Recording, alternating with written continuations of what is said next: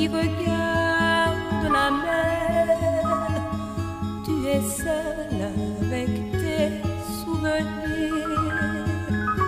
Et malgré tout ce bleu, tout ce vert, tu es triste.